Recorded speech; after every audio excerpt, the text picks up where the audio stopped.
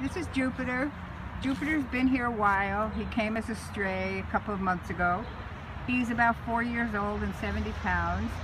He just loves this Kong. He's probably not going to move, so I just figured I might as well take it now. You can see all of him laying there. He's long and has tall legs.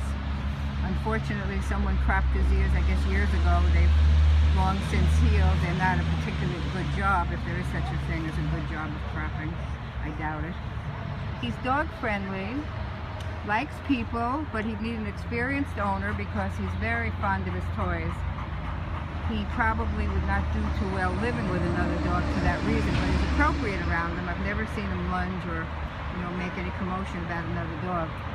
He'd have to be with kids who are like at least 12 probably because again, he doesn't want them taking that Kong away.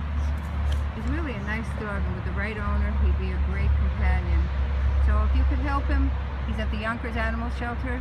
If you can't help him, please share his story so we can find him a home. He's been here, I want to say, four or five months. Nice boy, Jupiter.